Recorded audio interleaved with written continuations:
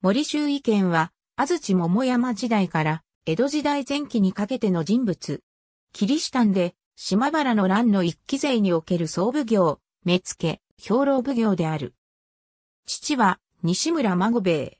先祖の代から、河内国石川郡の水分五社大明神の南木大明神で漢塚さを務めていた。周囲県は豪であり、幼名は風の進む。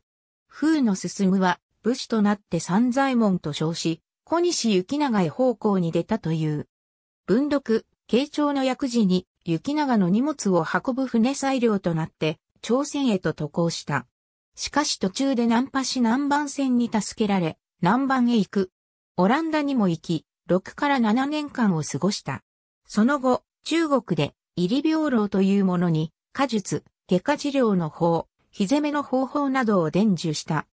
日本へ戻ってきた時にはすでに雪長は軽視しており、そのため高野山にしばらく身を潜めた。大阪の陣では、真田信繁の軍について戦うが落城し、肥後国天草島へ落ち延び、森州意見と改名して済んだ。島原の乱で戦死。